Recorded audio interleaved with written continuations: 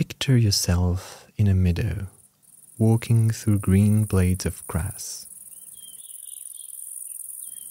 You are a nursery web spider, Pisaura mirabilis. You are an adult, but as a male, it's not in your plans to make a nursery web. Your goal is to find a nice prey, wrap it up in your best silk, and bring it to a female to mate with her. Hi, and welcome to the Insect Insights chill insect stories to relax and wonder. Available wherever podcasts are.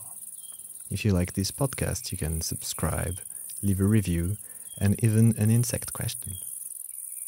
I'm Max, your host, and I hope you are ready to dive into insect knowledge for another weekly insight. The wrapping is not so much to please the female, but to reshape your gift. She will have to eat from a nice round gift in a way that ensures you can have better access to her genitalia, as well as a longer time to do your deed. Here, you spotted a nice big fly not far from you. Slowly crawling towards it, you leap and capture it. It will make a nice present. You are already quite well fed, so there is no need to eat some of its juice.